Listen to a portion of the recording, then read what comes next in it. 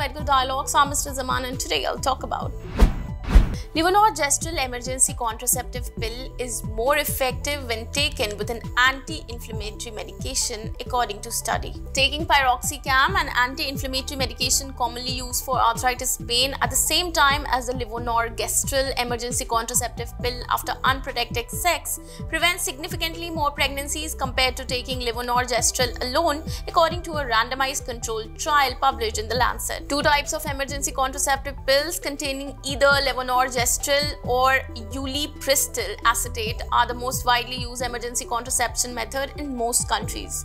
The accepted effectiveness of levonorgestrel is based on the results of a trial from 1998 in which levonorgestrel prevented 95% of expected pregnancies when taken within 24 hours of unprotected sex, 85% if taken within 25 to 48 hours, and 58% if taken within 49 to 72 hours.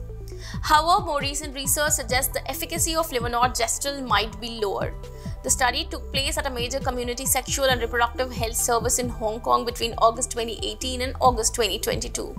Women who required levonorgestrel emergency contraception within 72 hours of unprotected sex were randomized to receive a single supervised dose of levonorgestrel 1.5 mg plus either piroxicam 40 mg or a placebo pill.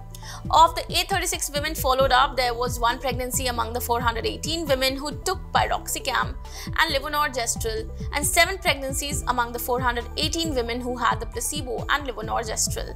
The percentage of expected pregnancies without contraception was estimated at 4.5% in both groups. Therefore, the percentage of pregnancies prevented following piroxicam levonorgestrel co-treatment was 95% compared with 63% in those who took levonorgestrel and placebo.